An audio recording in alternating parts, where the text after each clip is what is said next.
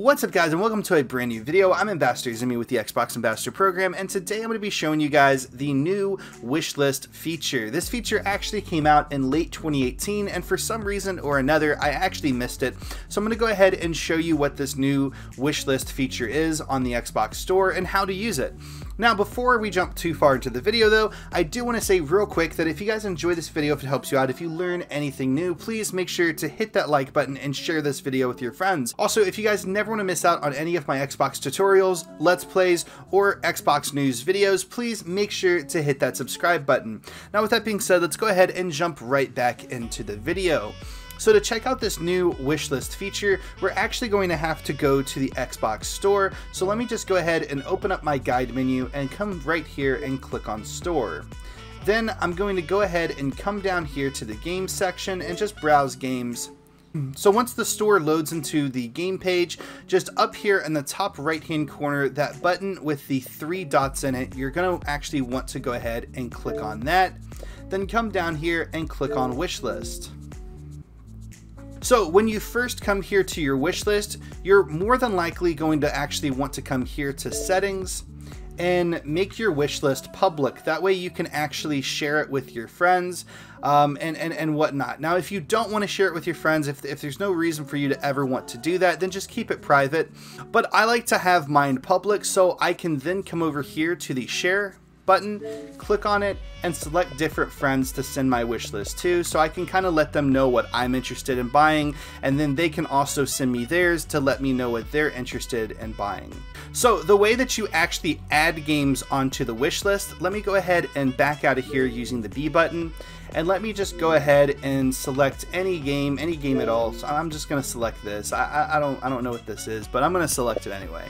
And I'm to come over here underneath the buy option and scroll over to this little heart button and click on wish list. And so now, as you can see, this game was added to my wish list. I can continue shopping and add more things to my wish list, or I can just view my wish list. Now, if I ever want to actually remove a game from my wish list, it's pretty simple to do. All you have to do is just scroll down here, find the game that you're actually wanting to remove. So let's say I'm just gonna go ahead and remove this game because I, I don't really want it on my wish list. So right over here next to the shop now button, there should be another three dotted button. Go ahead and click on that and then click remove. And then now you can see that that game was removed off of my wish list. So regardless of if you want to share your wish list with other people or if you just want to keep it private, this wish list is a super amazing feature. And the reason why is all throughout the year we all have those games that we just don't want to pay you know $60 for or they might be on sale but we kind of want them to be even cheaper than what they are.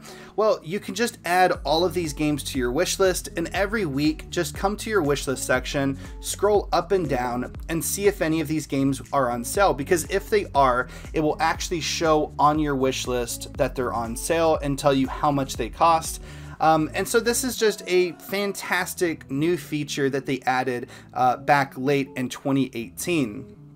Now, if you guys do actually want to share your wish list with your friends, it's pretty simple to do. You just click on share, you come down, you select the person that you want to share with, and you just send a list to them. So now let me go ahead and show you guys what it actually looks like whenever you send someone your your wish list. So I'm to go ahead and click the Xbox button on my controller to open up my guide menu, scroll over here to messages, click on conversations, and right here, Big Daddy Ghost 20 sent me his wish list. So I'm to go ahead and open that up. And so we've actually kind of sent our wish list back and forth, but right here is his. I'm to go ahead and show.